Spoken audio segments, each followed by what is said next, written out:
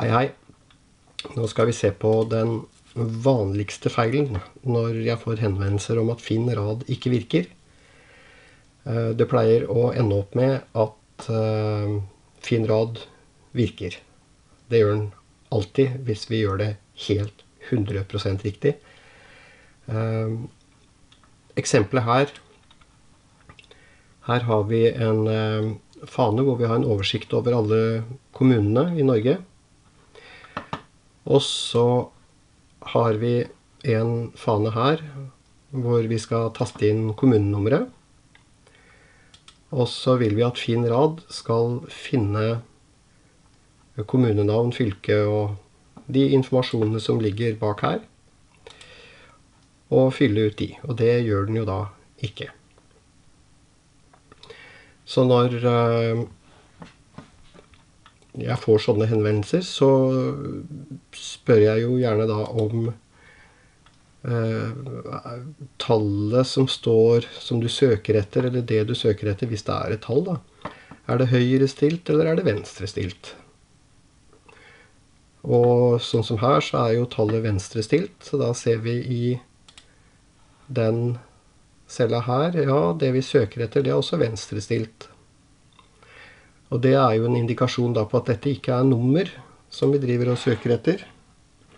Hvis jeg skriver 100 her, eller Ja, det var jo dumt å skrive det der, da. Skal se hvilket format har jeg her. Standardformat. Jeg har vært inne og lekt allerede, vet du. Men hvis jeg har et tallformat, skriver 0101, så blir det jo 101. Og det høyre stiller seg. Og hvis jeg skriver Knut, så vil det venstrestille seg. Det er en tekst. Men her er det jo da noe annet. Her kan jeg gå inn og sjekke. Ja, her er Jeg kan jo dra det inn så du kan se også. Her er formatet på cella tekst. Så går jeg tilbake her og ser. Og det ser jo veldig likt ut, da. Men her er formatet egendefinert. Det er altså ikke tekst. Dette er formatet til norsk postnummer.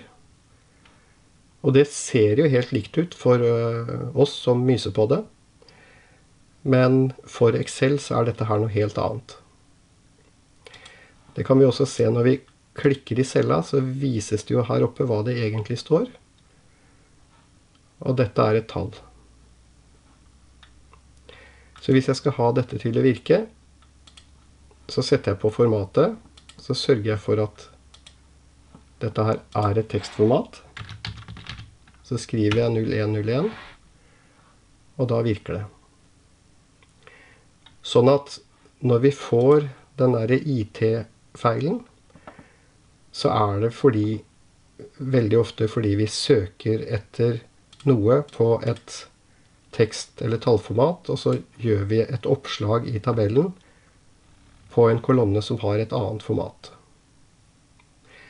Og det hjelper ikke å eh, endre sånn at det ser likt ut. Formatet på kolonnene eller på cellene må være likt.